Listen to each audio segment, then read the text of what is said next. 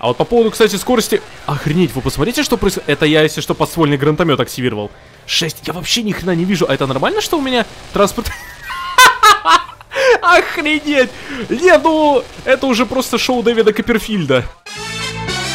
Приветствую, дамы и господа, это снова Call of Duty Modern Warfare 3, вот так внезапно появляется на канале, и сегодня у нас с вами завершение оригинальной трилогии в плане активации всех читов, да, почему бы не повеселиться уже в третьей части серии, с учетом того, что ролики по первой и второй Modern Warfare есть на канале, ссылка на них подсказки вверху справа на экране. Небольшой парадокс, самая последняя часть оригинальной трилогии, но в которой присутствует наименьшее количество читов, если брать первую и вторую часть, к сожалению, это так. И для сегодняшнего ролика я отобрал три задания, которые надеюсь, прекрасно подойдут для этого дела. Поэтому давайте повеселимся, давайте посмотрим, что для нас вообще хоть тут приготовили. А начнем мы, наверное, с задания Черный вторник. И уровень сложности тут не имеет значения, потому что один из читов связан с годмодом. О, да. Но я, если что, вырублю его ко второму заданию. Вы все прекрасно знаете, что он творит. Ну и прежде чем мы приступим к самому веселью, я, как обычно, заранее поблагодарю вас за пальцы вверх, друзья. Не забывайте их ставить и подписывайтесь на канал, если вы тут впервые. Видеоролики выходят ежедневно. Вы не представляете, что сейчас будет творится с этими людьми, которые напали на ваш отряд.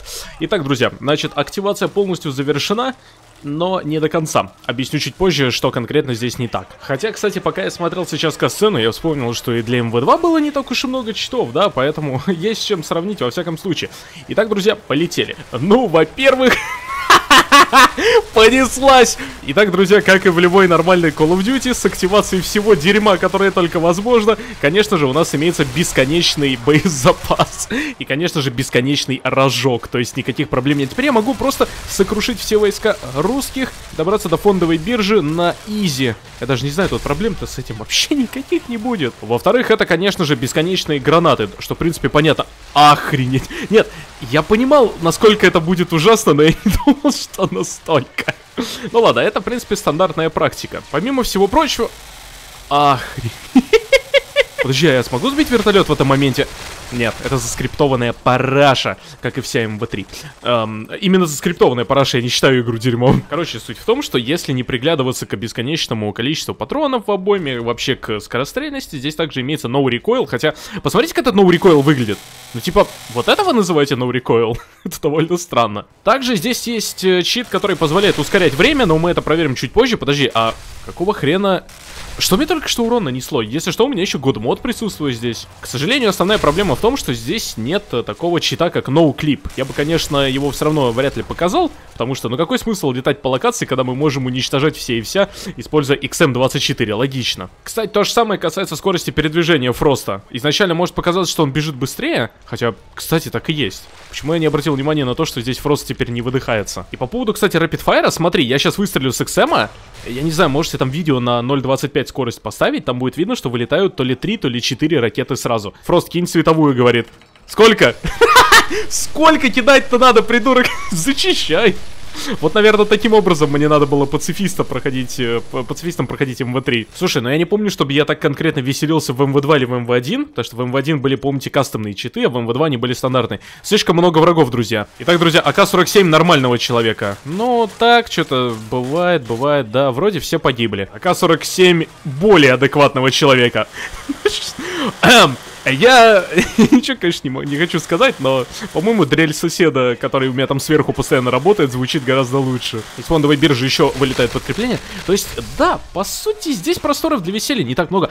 Хрен ли мне наносится урон, если у меня работает годмод? Я, наверное, это не пойму до конца видоса. И, кстати, пополнять боезапас тоже не нужно. Соответственно, бесконечный боезапас распространяется и на всякие С4, клейморы и так далее и тому подобное. И, кстати, да, я совсем забываю о том, что эти придурки еще и осколочными могут бросаться потом вас, поэтому трижды подумайте, прежде чем начинать это дело. Что будет, если нормальный адекватный игрок в МВ3 возьмет XM25 и РПГ? А вот что будет. Вот жалко здесь еще, конечно, приближение присутствует. О, это шикарно. Сэндман, я прикрою!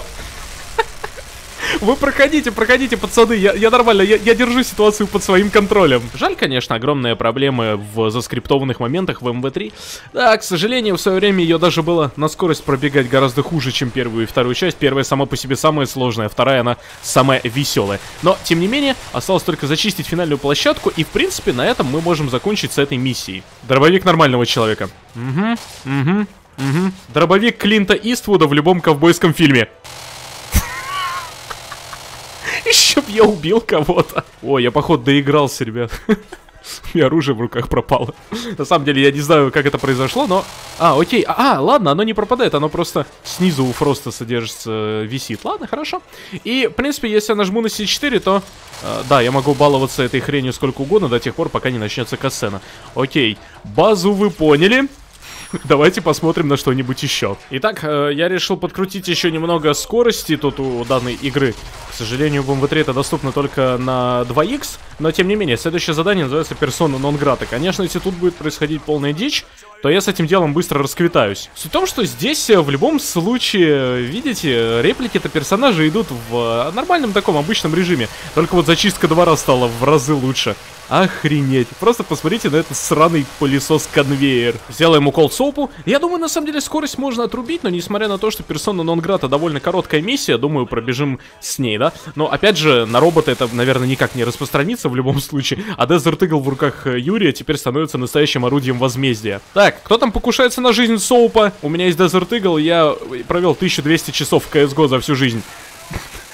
Вот на самом деле я все-таки отдаю предпочтение кастомным читам, которые присутствовали либо в оригинальной MV1, которую сделал мододел, либо то, что сделали разрабы уже в ремастерит версиях. Может вы помните ролик, где я играл со всеми читами в MV2 ремастерит? Вот это было прикольно. Понятное дело, всякие ноу-рекойлы, ноу-клипы, это, конечно, все весело, но тем не менее надолго все равно не хватит. Хотя я помню, в МВ2 был прикольный чит, когда можно было с помощью рукопашной атаки убивать противников с 50 метров.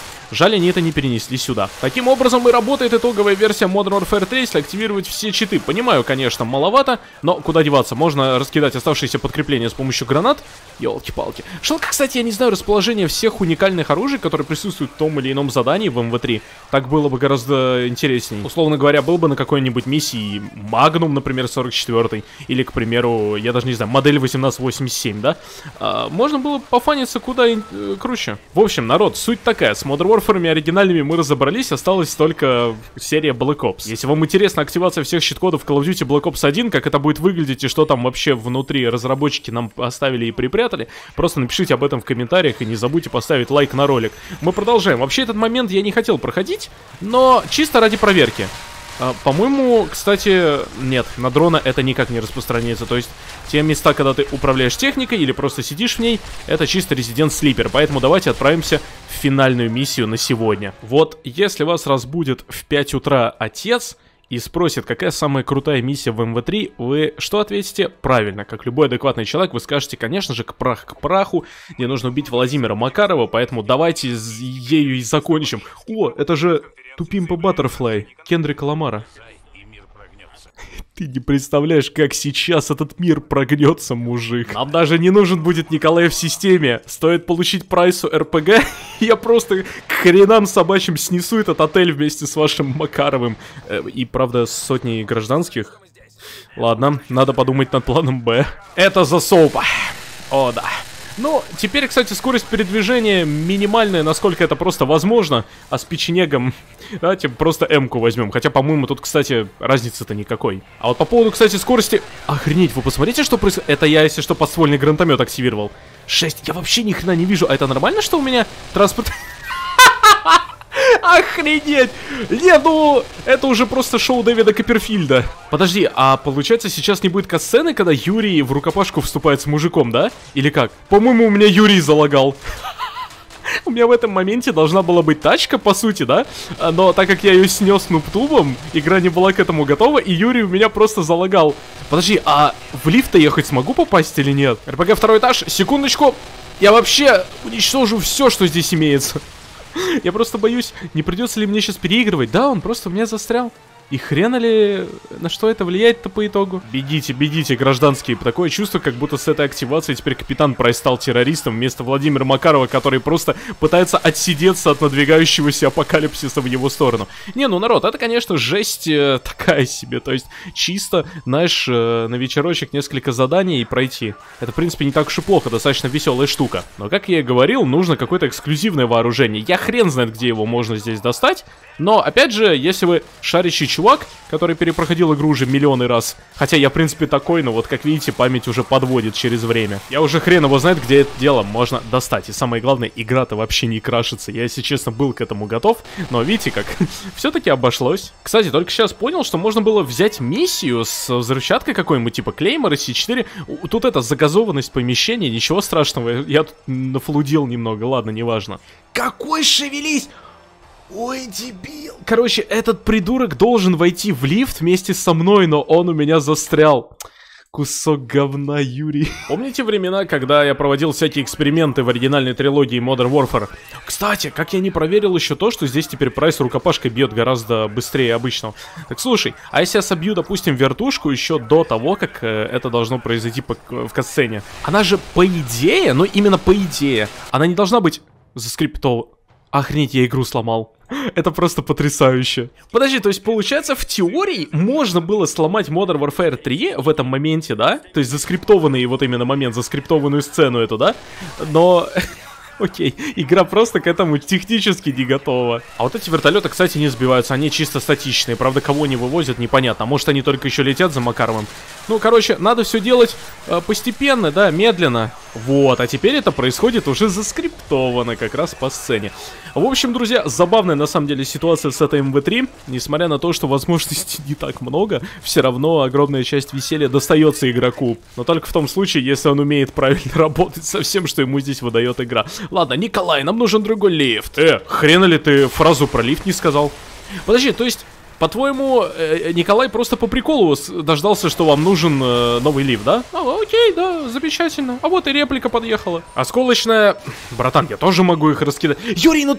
Юрий, ты только на мои-то осколочные не беги, дурак. В общем, теперь искать Макарова будет одно удовольствие. Кстати, можно заодно посмотреть, что тут по вооружению у чуваков-то. Напоминаю о том, что гражданские здесь присутствуют. Надо аккуратно с ними себя вести. По 90, ну давай попробуем. Ну и все, продолжаем движение в сторону Владимира Макарова. Слушай, кстати, никогда не мог подумать, что у солдат здесь будет а, а, обыкновенно одно и то же вооружение. Я думал, здесь хоть немного разработчики поигрались с классами, может у кого-то будет автоматический пистолет, у кого-то дробовик, пистолет-пулемет, автомат, ручной пулемет, снайперская винтовка, дробовик, все что угодно, тут у большинства солдат П-90 и, и АК-47. Ну что это такое? Не, я, конечно, не бомблю на МВ-3, понятное дело, нам еще Вангуарда как бы ждать нужно. Вот на какую колду точно стоит бомбить в этом году. Но все-таки приятно вернуться сюда, чтобы просто покромсать всех, кто встает у нас на пути. Жалко, кстати, не могу забежать э, заранее в глубь этого бара и посмотреть, как там Володька Макаров поживает. Ладно, Юрий, чисто месть за тебя. В общем, друзья, это достаточно забавная штука. Жалко, оружие, кстати, нам больше не выдадут здесь. Можно было бы, конечно, его засп заспавнить, но, сами понимаете, скрипты игры мы уже проверили, а в очередной раз вылетать в главное меню мне не особо хочется. Кстати, касцена запустилась сама по себе, мне даже прыжок делать не пришлось. Но давайте только встретимся с Володькой Макаровым под конец, и, в принципе, на этом можем закругляться. Если все-таки красиво подытожить, в какой части оригинальной трилогии активация одновременно всех читов была самая веселая и интересная? Но тут, на самом деле, сложно сказать. Все-таки с МВ-1 кастомки были, с МВ-2 их было мало, но это было весело. В МВ-3 это, конечно, отдельный разрыв шаблонов. Такой хрени я даже в предыдущих частях серии не творил. Поэтому сказать довольно сложно, можете вы написать в комментариях. Но, наверное, все-таки отдам предпочтение Modern Warfare 1. Но опять же из-за того, что там были кастомные читы, а не стандартные, как со второй частью. С другой стороны, кстати, получилась неплохая солянка, как мне кажется. Надеюсь, кстати, Modern Warfare 3 ремастерит, если и выйдет хотя бы через 2-3 года. Я буду на это сильно очень надеяться. Там добавят именно такие же читы, которые были в ремастере MV2. Но опять же, стоит ждать каких-то сливов, там всякие вот эти рейтинговые системы, возможно, опять когда-нибудь игрокам э, позволят увидеть заранее. Возможно, страничка появится в сторе, но, в общем, стандартная практика, поэтому просто остается ждать. Ну а я надеюсь, что вам понравился данный видеоролик. Если это так, не забудьте поставить ему палец вверх и на такой доброй позитивной ноте я это говорю в то время, когда мы вешаем Владимира Макарова. Потрясающе, просто ну только так я могу, да. С вами был Спектр, подписывайтесь на канал, если вы тут впервые. Видеоролики выходят ежедневно в 14.30 по московскому времени. Ждем, как я уже говорил, выход Вангуарда. Играйте в хорошие игры, играть с хорошими модами. Услышимся с вами уже завтра. Позвольте деду покурить после такого прекрасного истребления оппонентов. Кошмар. Еще бы, кстати, зажигалка у него миллион раз быстрее зажигалась. Вообще было бы круто. Или доставал бы он сразу сигар 500 с учетом. Не, ну ладно, такие читы, конечно, писать уже невозможно. Всем удачи, не болейте, услышимся. Пока-пока.